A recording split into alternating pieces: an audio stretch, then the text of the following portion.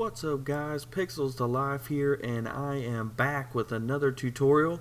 This week, custom thumbnails.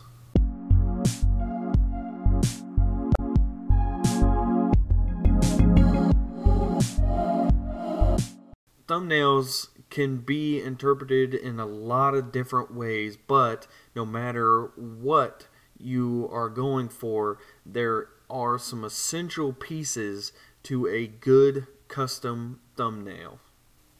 When designing a custom thumbnail, there's always three questions that I ask myself in order to determine if a thumbnail is going to be successful or not.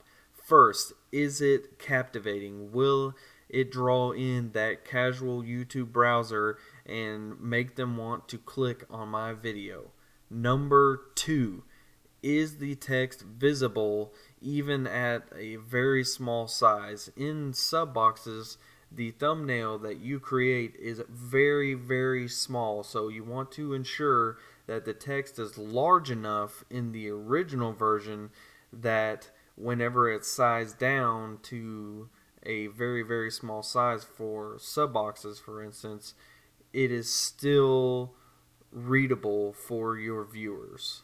Number three, does it summarize the video? Now, what I mean by that is, can somebody browsing on YouTube tell what my video is going to be about before they even click on it? Now, for me, this is important because I think that it aids in viewer retention. If you just put up a thumbnail that has some scantily clad woman and some high contrast colors and somebody clicks on that video and your video comes up and it and the thumbnail has absolutely nothing to do with the content of the video for me that's a deal breaker. For me I'm clicking off that video and and not watching it any further. So those are the three questions that I ask myself whenever I'm designing a thumbnail to ensure that it is going to draw viewers in and not drive them away. Or now that we've defined what we're looking for, here's an example of a successful thumbnail that I've created um, and also the one that we're going to be creating in this tutorial today. Um, so extremely nice, the text big, bold, easy to read, nice little backdrop image and uh, and looks professional catches the eye so let's get right into making this um, we're gonna start out with a new canvas that is 1280 by 720 pixels wide I went ahead and um, already got the background image and um, the emblems surrounding the word 2 as you saw in the final product um, just did a simple Google search for Black Ops 2 uh, wallpapers and Black Ops 2 emblems. So this um, background image is obviously a little bit too large, so we're going to drop it down a little bit um, to about 75%.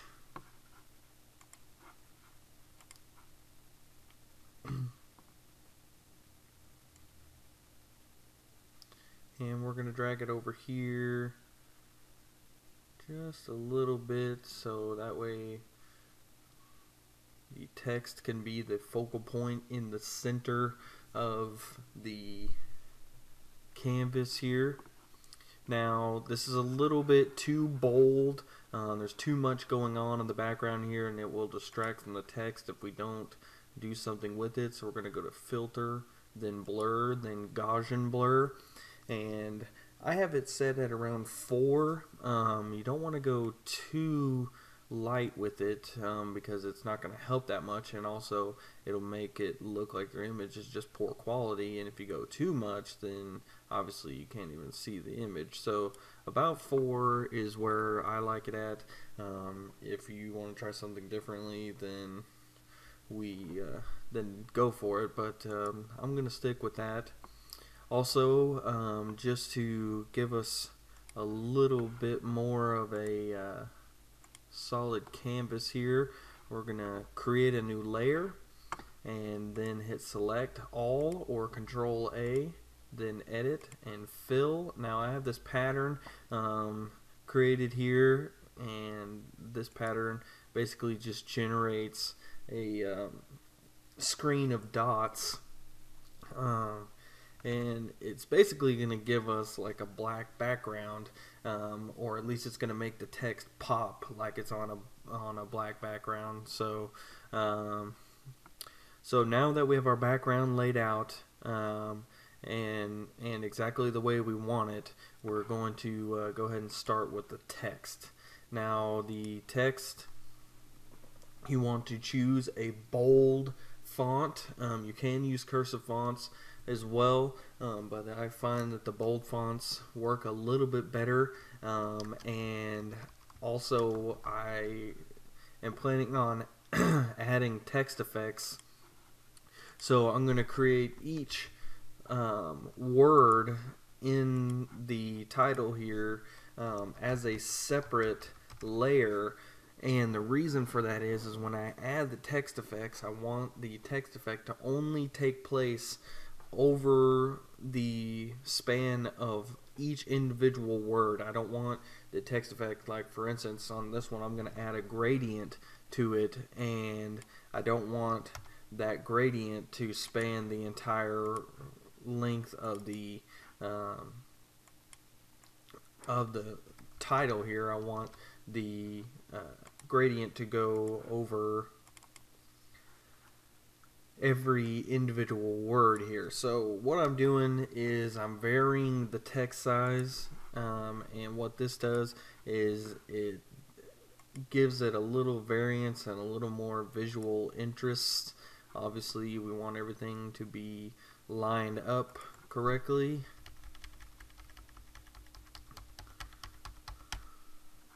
So I'm going to go ahead and make a couple moves here get this spaced out properly.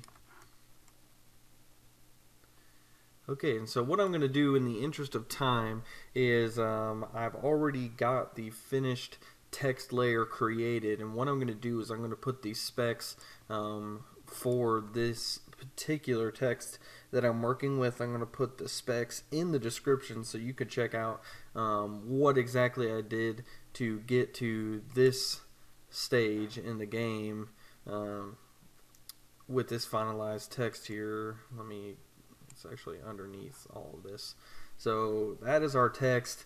You see nice, big, bold, just jumping off that background and those black dots really help because you see if I actually remove them, it kind of takes away our depth a little bit. So definitely want to keep that in there. Um, and now we're going to add the banner for the episode.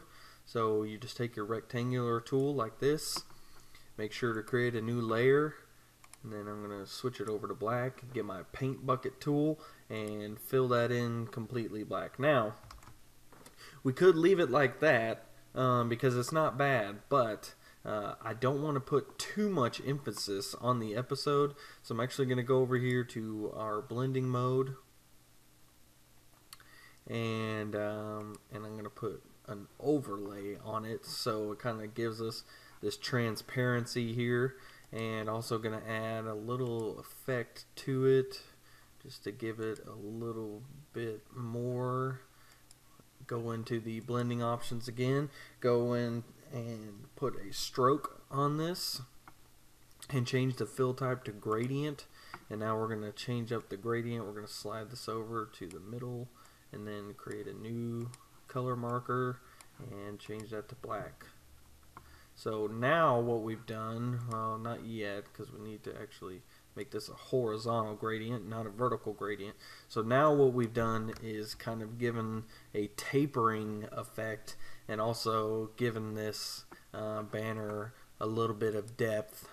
Again, um, depth extremely important for thumbnails because you do have a limited space to work with.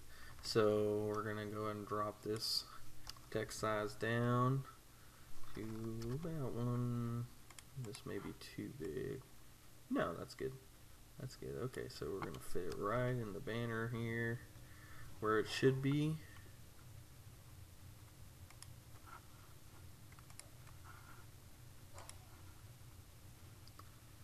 Horizontal centers.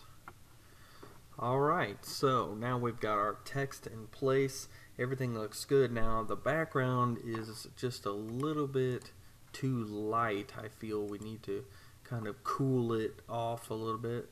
So what we're going to do is we're going to add a gradient over it. Obviously that's ridiculous um, because it's gone.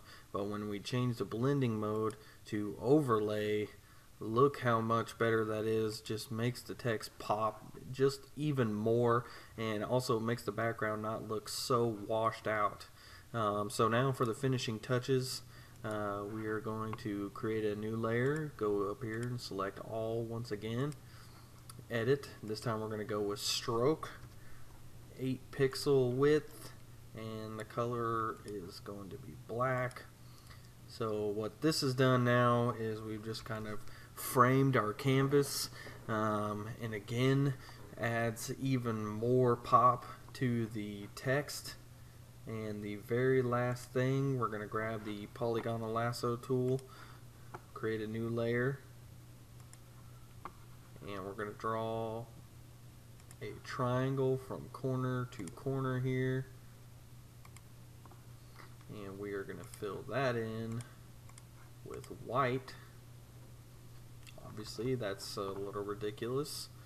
Again our trusty blending mode to overlay still a little bit too much so we're going to drag it down just to where it's barely visible. Right about there is good. So that is how you create a custom thumbnail that is going to draw your viewers in. It's going to catch their eye and in the long run, it's going to add views and hopefully subscribers to your channel.